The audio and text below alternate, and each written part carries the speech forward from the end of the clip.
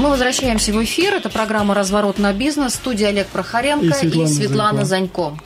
А у нас в гостях, а, да, от нас не ушли, никуда не, не сбежали, губернатор Кировской области Игорь Васильев и председатель правительства а, Кировской области Александр Чурин. Продолжаем разговор по следам Петербургского международного экономического форума. И вот э, до эфира, вот сейчас в перерыве мне сказал Игорь Владимирович, вот вы хотели что узнать, о чем в кулуарах говорилось? Я вам сейчас расскажу. Да. Ну, например, вот а, один из, один из сюжетов, я думаю, Александр Анатольевич продолжит. Мы а, так вот э, шли по коридору, так сказать, случайно встретили Кагогина, который сопредседатель Народного фронта, директор, так сказать, КАМАЗа. Да? Он говорит, а не хотите чайку попить? Мы говорим, конечно, хотим. И чем у нас завершилось это чаепитие? А завершилось это тем, что мы договорились о поставках автобусов КАМАЗ а, в интересах автотранспортных предприятий Кировской области. И мы говорили о том, что необходимо все-таки создание единой транспортной компании, объединяющей в Кировской области, в Кировской области и объединяющей муниципалитеты Кировской области, город Киров, потому что КАМАЗу интересны крупные поставки автобусов и на, на, несколько, на несколько лет вперед чтобы они видели перспективу. Он прямо нам так и сказал, мы разовыми поставками не занимаемся. Наши мощности загружены, спрос огромный на продукцию КАМАЗа, и нам интересно долгосрочное, стабильное сотрудничество. Только большая крупная компания сможет обеспечить такое сотрудничество с КАМАЗом. Я вот здесь вижу подводный камень очень большой, это уход всех участников из сферы перевозок.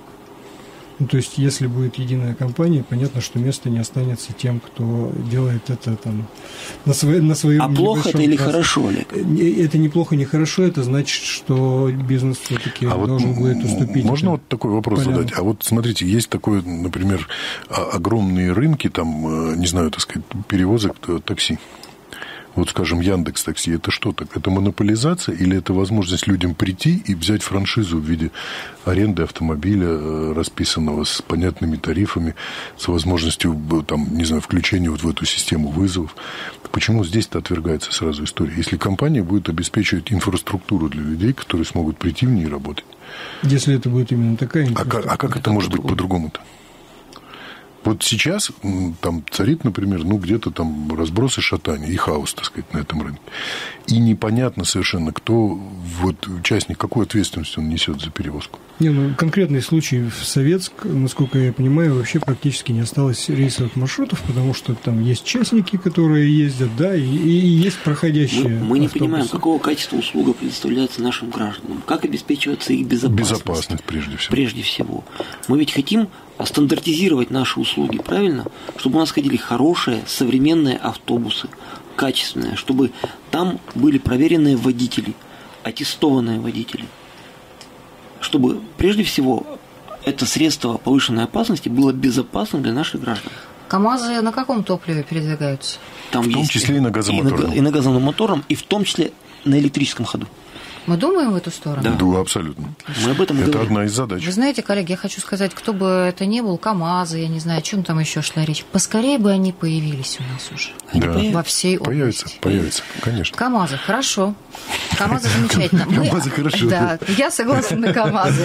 Значит, обещали поговорить о том, а, Там какие... был ряд встреч э, с, с, регионами, регионами да, особенно соседними. Понятно, что Андрей Чибис, там Мурманск, это относительно не, знаете, далеко, вот, а есть там Мариэл, есть далеко это или или близко. Я вот, знаете, вот сейчас э, мы можем там перечислять регионы, с которыми уже заключены соглашения. Конечно, во многом, наверное, они носят в том числе и рамочный, так сказать, характер. Вот этот раз мы подписали соглашение с э, Марией Эл. И у нас есть совершенно конкретные вопросы. Это по газификации, где мы сотрудничаем вместе с э, Нижним Новгородом, Марией Эл и Кировской область.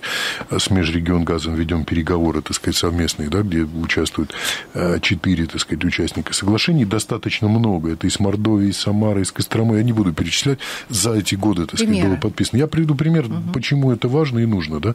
Вот я, вот, Светлана, просто нас люди многие не видят, вижу бизнес-новости. Сегодняшняя новость, да, вот результат одного из соглашений, да, а, например, а, уровень кировской медицины оценили а, представители Воронежской области которой у нас есть соглашение. Посетили они не какую-то нашу выставочную центральную больницу, они были в Оричихе, в Кирово-Чепецке в ЦРБ. Вот, вот заметка, смотрите. На основании таких соглашений мы обмениваемся, в том числе такими делегациями. Люди могут посмотреть на то, что делается у нас хорошо, рассказать, что происходит у них. Это, мне кажется, очень важная часть работы. Не огораживаться как-то, да, а реально показывать, что происходит. Игорь Владимирович, мы когда встречались с представителями бизнеса и говорили об экспансии э, там, других брендов к нам, о защите собственного производителя, о выходе на межрегиональный рынок и ну, то есть здесь, понятно, два процесса. С одной стороны, поставить барьеры и оградить свой рынок для того, чтобы а, свои продукты там не вытеснялись продуктами импортными. С другой стороны, а, войти свободно в рынок соседних регионов, чтобы там не было такого лобби. Вот здесь как-то обсуждаются эти процессы с точки зрения возможностей для нашего производителя, чтобы не ставились барьеры, там, зайти в Мариэл, зайти в Удмуртию и так далее. Ну, естественно, обсуждаются все э, вопросы. А с другой стороны, стороны, чтобы мы свои барьеры не, не снимали. Ну, я, я думаю, что лучше да, безбарьерная среда и конкуренция, нежели каждый год... Понимаете, самое главное, чтобы э, среда была конкурентной. Чтобы мы вырастили свои собственные бренды, которые могли на равных конкурировать с другими. И точно так же проникать на территории других регионов. У нас вообще область... Знаете, я... Да. Вот. Э, область у нас вообще уникальная. Ее можно назвать такой северной звездой. Мы граничим с девятью регионами максимальное, максимальное количество. количество. Да. Ни один другой субъект. Блеска, блеска бы только ей придать в области. Вот. Ну, Засияем тогда во все. Ну, Светлана, только угу. вместе. Только вместе. Ну, конечно. Вот смотрите, приведут такой пример. Э, сегодня мы с Котлячковым Алексеем Алексеевичем, и, кстати, вот с коллегами... Министр сельского хозяйства. Да, с журналистами угу. были в недалеко, так сказать, в Орическом районе, в, в одном из хозяйств, да, и увидели несколько молоковозов, да, таких вот больших, серьезных, 30-тонных. У них были московские номера. Молоко едет в Москву на компанию Вимбельдан заключены долгосрочные договора по стабильной цене на несколько лет. И на вопрос, там были представители, да, а почему так далеко Кировская область? Так все просто и понятно, стабильное качество в течение года. Нет провалов. Я вам скажу больше. А, и это позволяет, я извиняюсь, да, что перебиваю, по достаточно высокой цене этим производителям это молоко продавать. Да, кстати говоря, это впервые, наверное, на моей памяти, Олег, подтверди, мы с тобой давно очень вместе ведем программу, а кировские молочники не только те, кто молоко производит, но производят упаковку, производят оборудование для молока. А они в этом году озаботились тем, что необходимо объединяться для того, чтобы вот этот синергетический эффект давал еще больше а, нашему региону дивиденды. И хотят проводить молочный автопробег. 18 августа этого года автопробег восьмой, который проходит уже в России дорогу молоко, начнется с Кирова. Мы с коллегами обсуждали этот вопрос, почему бы нам не устроить э, на театр. Там будет 50 автомобилей. Да. В каждом автомобиле будут сидеть представители разных там, да. производителей. Да. Почему бы нам не устроить молочный праздник для горожан? И, Хорошая идея, кстати, да. Вот прям не просто они да. там между своими да. фермами проехали, там, да, а вот именно чтобы город ощутил. Мы все время говорим, мы производим молоко, мы производим молоко. Где мы это ощущаем? У нас должна сложиться какая-то, мне кажется, традиция. Молочные праздники. Вот финская школа, в которую Хорош, по- поехали история, все вместе, да, в да. каждой школе стоит а, аппарат а, по разливу молока. Все да. школьники и директоры мэр пьют молоко. Да. Что такую историю, подумать в эту, в эту сторону. Потому что кроме того, что мы производим, интересно. хорошо бы и гордимся, хорошо бы, чтобы была еще какая-то правильная традиция и пропаганда. интересно, вот это действительно будет э, такой пробег, он, мне кажется, очень такое позитивное мероприятие. Август, Давайте да. подумаем, как в городе из этого действительно сделать ну, такой это бренд, в хорошем бренд, смысле праздник. То есть не просто экономический да. показатель, а бренд региона. Угу. Мы сейчас должны прерваться на короткую рекламу, через полминуты снова здесь. Продолжаем разговор. Это «Разворот на бизнес». Мы встречаемся по следам а, Петербургского экономического форума. У нас в студии губернатор Кировской области Игорь Васильев и а, председатель правительства Кировской области Александр Чурин. Ну, а, придумали. Нужно что-то делать с молоком, кроме того, что его прода... красиво производить, красиво продавать. Еще и сделать брендом города и пропагандировать питье этого молока. Мне интересно, что появится в этом году. Вот правда. Насколько, как в Финляндии, зайдет это молоко там в каждую школу и в каждый дом. Действительно.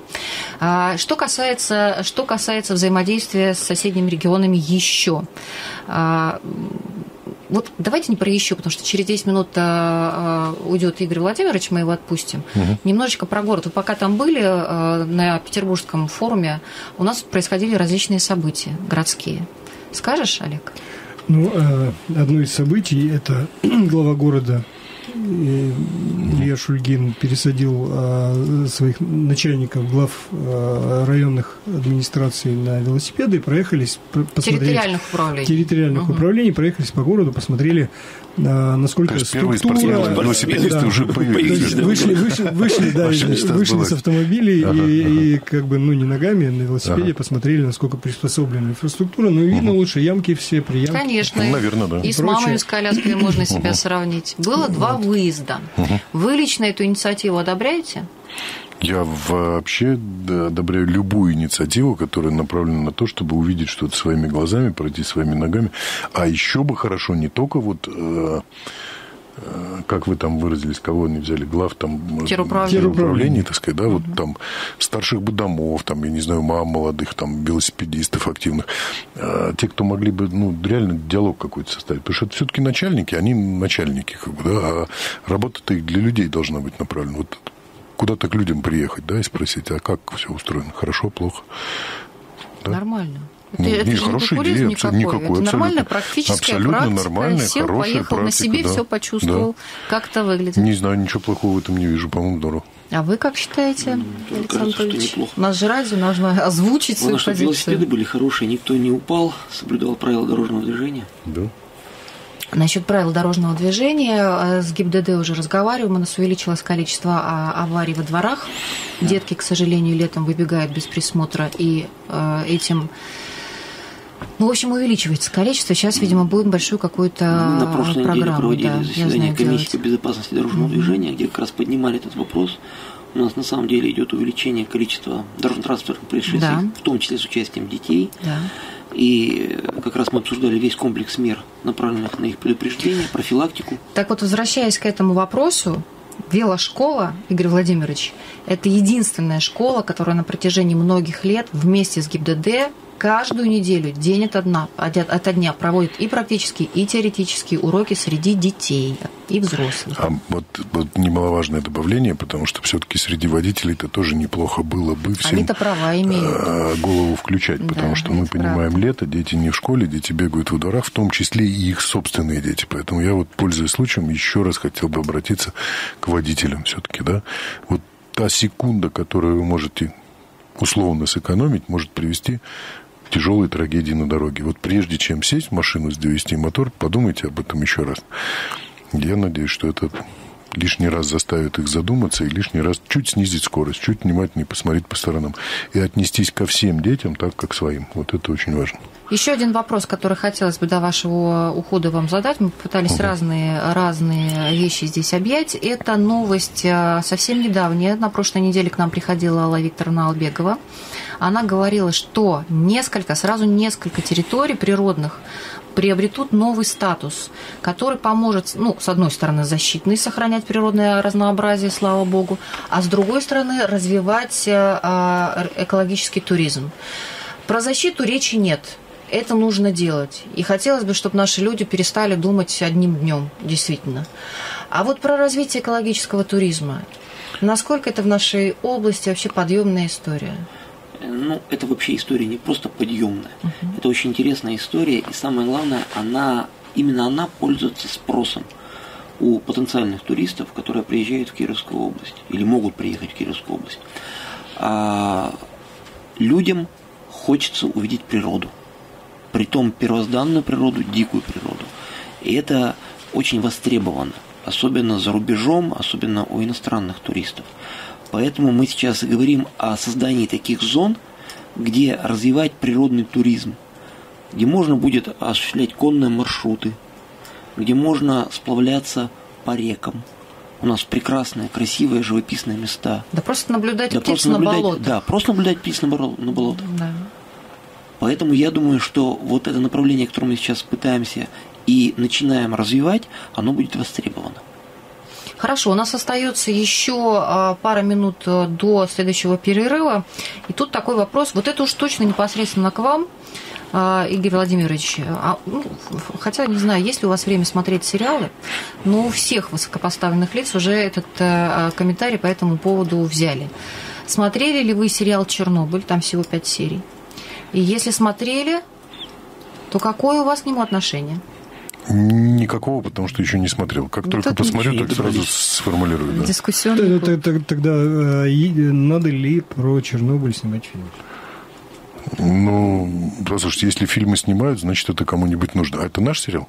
Нет, это не наш сериал. Я как-то вот... Это вот, сериал вот, не наш, это ага. сериал не наш, но а, комментарии дали все, даже господин Мединский, угу. чей папа является а, ликвидатором. Ага. И папа, посмотрев, сказал, что все очень близко к правде. Ну, плюс, конечно, ну, художественный вымысел там был. Ну, наверное, а вопрос-то в чем? То есть, про я... интересно было. Мнение узнать. Это важно. Это, это, а, ну, это... давайте так, я, я, наверное, найду время, посмотрю. И сериал, который переплюнул, это сериал про российскую угу, историю, который да. переплюнул самый-самый популярный угу. сериал «Карточный домик» про американскую историю. Ну, там с реальными персонажами, Щербиной. Совершенно. Или «Игру престолов» и «Игру престолов». А, вот это вы знаете, ну, Это правда. Мне кажется, слушайте, это все-таки ну, такое событие 20 века мирового масштаба. Абсолютно. И, наверное, абсолютно достойно снять о нем фильм, если это качественно сделанное кино, без там, иронии и как-то вот таких, знаете, ерничаний. Потому что это трагедия для очень многих людей, практически же, наверное, в каждой ситуации. Смотрите, у нас везде есть памятник ликвидаторам этой аварии. Очень многие люди а, получили инвалидность и до сих пор страдают, болеют, а многие ушли из жизни. Конечно, Нет, просто люди, обыватели, многие не знали трагедия. о том, ну, что... не знали. Ну, время прошло достаточно много, так сказать, да, и сейчас... Я, давайте, я, наверное, обязательно там, посмотрю этот фильм, свое мнение потом скажу, пока там нет. показан реально э, и правильно показан подвиг людей. Да. По-другому это не называть. Подвиг ну, людей, которые ликвидировали последствия этой аварии. Ну, наверное, это достойный фильм. Спасибо. Мы сейчас прервемся на короткую рекламу, во время которой попрощаемся с губернатором Кировской области Игорем Васильевым и останемся в студии еще на некоторое время да, с Александром Чуриным, председателем правительства Кировской области. Продолжается программа «Разворот на бизнес». Мы чуть раньше вышли на рекламу, потому что нужно было покинуть нашу студию губернатору Кировской области Игорю Васильеву. Мы остаемся а, здесь в студии с председателем правительства Кировской области Александром Чуриным и продолжаем разговор. Да, и э, на самом деле сегодня как-то очень много звучала тема э, Уричевского района. Это начинали мы, напомню, про биокластер и э, фармкластер, вернее, и создание такого био полиса, угу. который планируется в, в Левинцах. Теперь уже, потом теперь говорили, уже прямо реально нащупывается. Да, его. потом говорили про молоко, которое оттуда же везут. Там, ну, понятно, что там достаточно сильное молочное производство, исторически, и кормовая база идеальная, потому что там был луговой и так далее. Ну, то есть Лугоболотная станция. Лугоболотная станция, где вообще развивали э, кормовую базу и проводили исследования. Вот. И вообще Оричевский район как-то очень сильно развивается с точки зрения промышленности, переработки, фармации и так далее. Это почему? Это потому, что э, району уделяется пристальное внимание, потому что географически он так локализован очень удачно районные власти так хорошо работают, и есть ли шансы у других районов как-то побороться за, за внимание? Ну, тут, наверное, совокупность всех э, вот этих э, тенденций, о которых вы говорите, в том числе и историческое э, прошлое Орического района, о котором вы тоже упомянули. Но мне кажется, еще самое главное, что вот все сошлось, наверное, в одной точке. И биотехнологический кластер – и развитие, развитое сельское хозяйство, и строительство новых э, предприятий по переработке и так далее, и близость к городу Кирову, и хорошая транспортная, инфраструктурная логистика района. То есть все здесь, э, в общем-то, и дало те результаты, о которых мы сейчас говорим. А, ну, Иорический район сам по себе всегда был одним из передовых районов в Кировской области – Поэтому он не сдает свои позиции, он наращивает свой потенциал и достаточно динамично развивается. Ну, у нас вот есть два района, которые а, становятся особыми экономическими зонами, зонами а, как развития э, опережающего, опережающего развития. Да. У них есть а, перспективы, ведь там есть и налоговые а, преференции, в том числе перспективы побороться за ну, вот, привлечение ну, инвесторов. На самом деле а, мы так и рассматривали а, Орический район, вот эту территорию, а, в качестве третьего центра, в качестве третьей зоны а, территории опережающего социально-экономического развития. После Вятских полян, Белой Холуницы мы вот как раз хотели в Левинцах разместить эту территорию. Сейчас меняется законодательство, изменилось законодательство. Непонятно, будут ли еще на федеральном уровне рассматриваться вот такие образования и внедряться. Но если это будет, то наша заявка, она будет одной из первых на рассмотрении уже в федеральном центре.